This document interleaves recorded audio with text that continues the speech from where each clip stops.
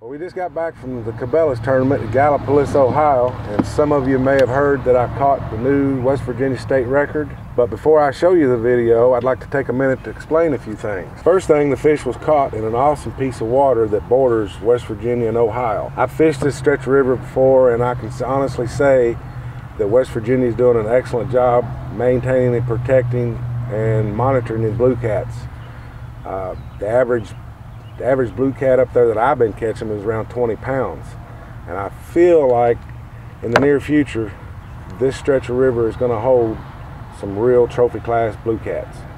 I've been so impressed with this piece of water, I've published a few articles on how West Virginia is monitoring, maintaining, and protecting their trophy cats. I think uh, all bordering states of the Ohio River should, should follow suit and take the same action in protecting the large catfish of the Ohio River. Well, here, take a look at the video. This is not the biggest fish I've ever caught, but this is by far the most exciting fish I've ever caught. Uh, in my mind, it's like winning the lottery. Landing the fish that trumps the, the current state record by 30 pounds is an awesome feeling. The fish goes from 40 to 50 to 50 to 60 to 70, 80. I didn't know what to think. But there's a twist to the story, and I'll say more after you see the footage.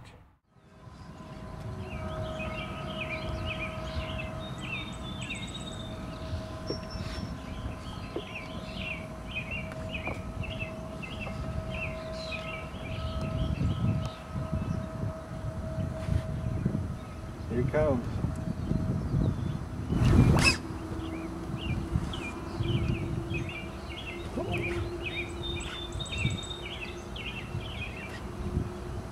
Acts like a blue.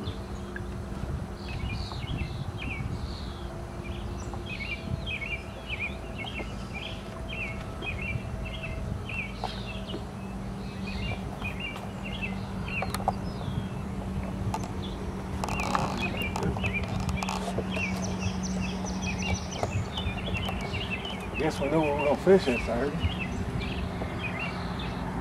I hate sore lick these damn things. Had to find out over here. We're going up river. This might be a flathead, but I tell you, he's wild.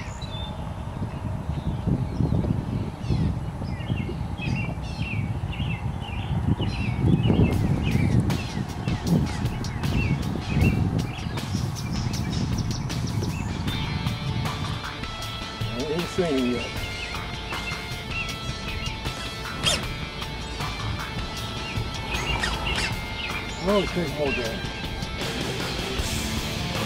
Oh man, this is a, this, I think this is going to be the state record blue cat right here.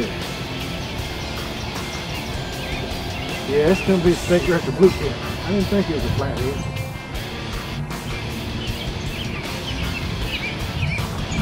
I bet you, I think it's only 29 pounds. I think this one here's going to go 40 50.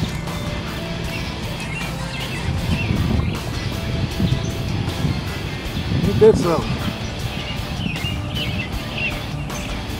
I'd like to have him in that tournament.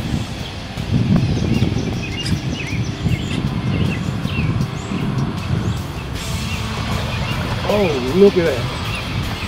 We just caught, we just caught the state record blue cat.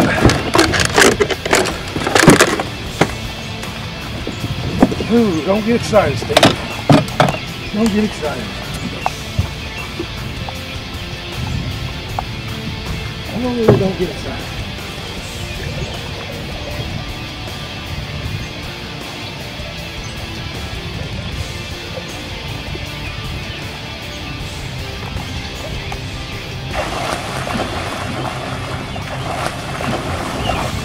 Oh, why couldn't we catch us through that tournament? It's all right. I'll take my state record. Wait a second. This is what it's all about. I can't do nothing with it. No mustad hook. You're doing the job too.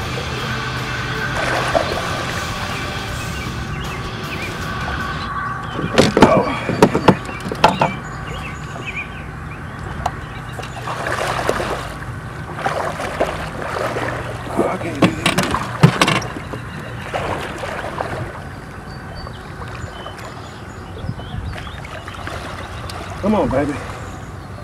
Don't break loose. though. While I'm at it, tangling with catfish rod, Ming Gang reel, renegade tackle.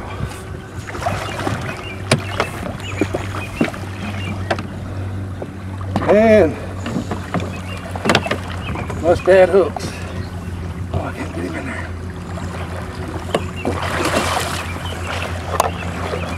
Woo! He's mine. He's mine.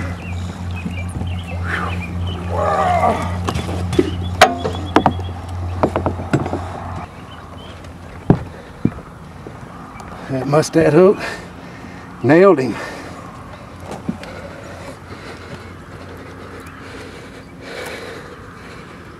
Shoot, I'm out of breath. This fish worked me to death.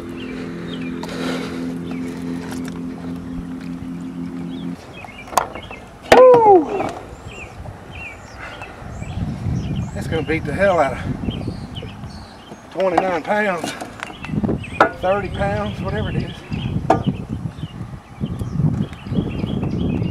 Oh, Lordy. Oh, Lordy.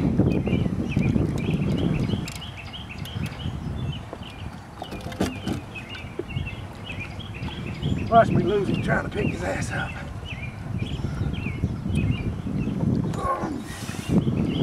You know, fish might be 70 pounds. He going in live well. We're gonna have to call somebody. Oh, Lordy. So when I landed this fish, I started calling anybody I could think of that, that could help me find the number to the DNR so I could possibly get this thing recorded. And I called a good friend of mine, Doc Lang, which incidentally his wife, Lynn Lang, holds the current West Virginia state record. I believe it's like 29 pounds and some change. Doc called me back and he said they were on their way, so I headed to the ramp. I wanted to get this fish back in the water as soon as possible. So when the biologist arrived, I was really relieved but this is where the twists start and my bubble got busted. So as it was explained to me by the biologist, a non-resident with an Ohio state fishing license cannot fish the Ohio River, thus making my huge blue cat null and void for the state record of West Virginia. Just, just have fun. Ain't that Just something? I was whatever. told it would be either one. No, no, it's not. If you're a Kentucky resident, you have to have a West Virginia fishing license to fish the Ohio River. Unless you're fishing from the Ohio bank. So what's that mean? It's null and void. Means you've been illegally fishing. And I don't write tickets, so Is he serious? the record is null and void. Is he? Are you serious? I would not lie to you, sir.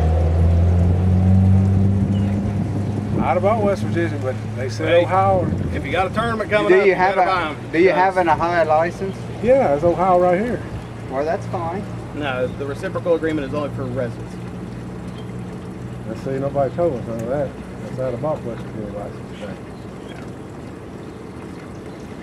You got a copy of the fishing? We've had these discussions several times at, at a lot of tournaments that have bordering waters, but I guess everybody just assumed that the same law applied for the Ohio River up and down. Each state had a different license, but the Ohio River was neutral. Yeah, I think uh, the general consensus of the Ohio River, it's neutral. Have either state license and you're good, but that's not true. And with that being said, myself and many others who travel around fishing these tournaments were under the assumption that if you had either state's license, you could fish the Ohio River. Just like Kentucky and Indiana or Kentucky and Illinois, the Ohio River is kind of neutral. If you want to go up into the tributaries of, of, say, Indiana or Kentucky, you have to have that state's license. But since the tournament was going out of Gallipolis, Ohio, I wanted to be legal, didn't want to break any laws, so I bought an Ohio fishing license since I was going to bring my fish out of the Ohio River up onto Ohio Bank. And trust me, I'm not the only guy that, that was there the other night that had an Ohio license that was from out of state that went and bought a West Virginia license after they heard what happened to me. So as a kind of a voluntary community service thing for the misunderstanding with West Virginia, I thought I'd shoot this little video uh, to help promote the state and the great things they're doing with their fisheries and share a lesson learned so other anglers are clear on the fishing regulations with West Virginia so they don't mess up their chance at a state record blue catfish. Well, he's still out there, guys. Go get you a West Virginia fishing license. Hit up the Ohio River. Get busy.